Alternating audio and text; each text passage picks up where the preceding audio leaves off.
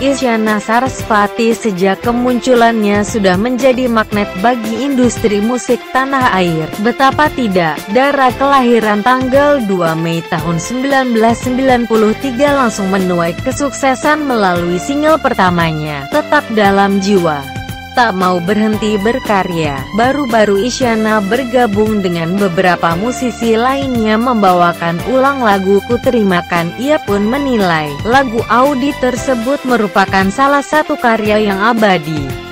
Waktu kecil, zamannya kaset, aku suka nyanyiin di panggung-panggung gitu. Terus sekarang bisa aku nyanyiin, tutur Isyana album ini merupakan salah satu bentuk konsistensi dirinya di bidang musik yang telah dia tekuni sejak kecil. Sangat-sangat tidak mudah memang.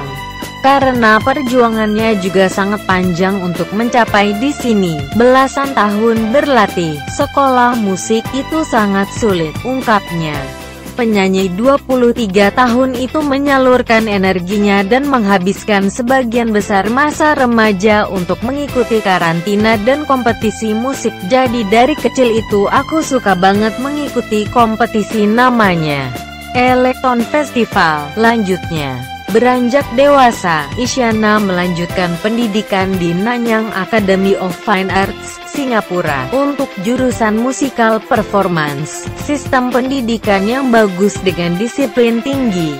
Semakin menguji pribadi Isyana. Demikianlah info Sobis kali ini dan terima kasih.